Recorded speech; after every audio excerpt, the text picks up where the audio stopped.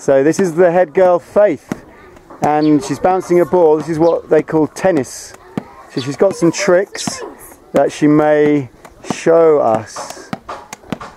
It's just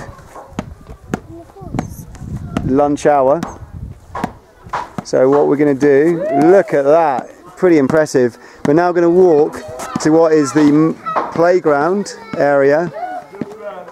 There's actually a football area down in the valley side which we're going to play after lunch. So moving along, there is construction in progress. You can see the kids, they love to play this game where they take each other's arms and try and walk. I think it's uh, the Ugandan version of the monkeys.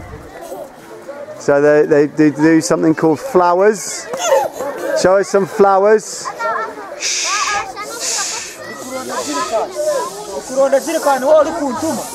Okay, so we're moving towards. I will end up having more and more. These kids are going to multiply, showing us flowers all the way. And remember, kids, the camera only works when you smile. okay, so we're moving all the way up. It's actually quite difficult to move because what you can't see is all the kids are on my feet. We have uh, piped water to the project from Lake Bunyonyi. It's treated and you actually have to pay for it. So that's a luxury item in the village but as we are progressing as we are progressing on the project with pig breeding and better yields certain families have been able to pipe water to their properties. Would you like me to do flowers? Do flowers. So, so you can see they're lovely kids very well behaved very nice natured and we have the staff room so soon there will be lunch. They're just waiting. This is the headmaster's office. It usually is more tidy, but we have got some books and we're going to create a library and the young kids, the learning by play that we have the UK or US, Australia or mainland Europe, we're going to try and introduce more of that. We have uh, a volunteer who's here for the period of a year. Would you like to say hello? Hello, how's it going? Great. So we are now going to our purpose-built kitchen. There's Maureen, one of the primary school teachers.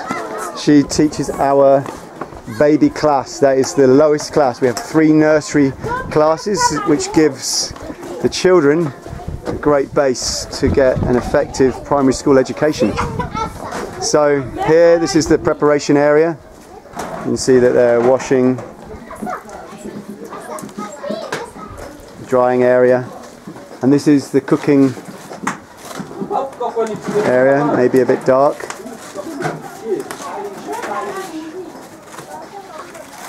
Some lettuce, and the kids will be lining up. Today it looks like it's potatoes.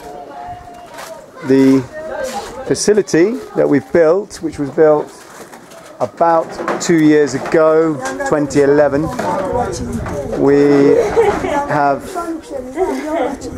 an oven which is more sustainable in and it burns less wood and it also funnels most of the smoke out the top of the structure meaning it's a better work environment for the cooks. We have two cooks at the school at present, and as the numbers grow, I'm sure there will be more. So there's an orderly queue. I'm also eating. and there's the big plate of potatoes. The food here is fantastic. Very tasty, very natural, it's all organic. and when you taste a potato or tomato or beans, they really blow your taste buds away. So I'm now moving away.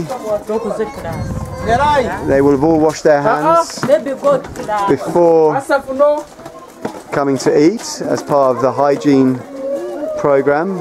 We've got a little boy crying here, so that might happen anywhere in the world.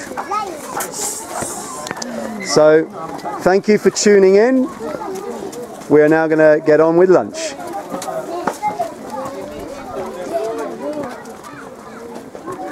Would you like to say bye bye, Kali Kali?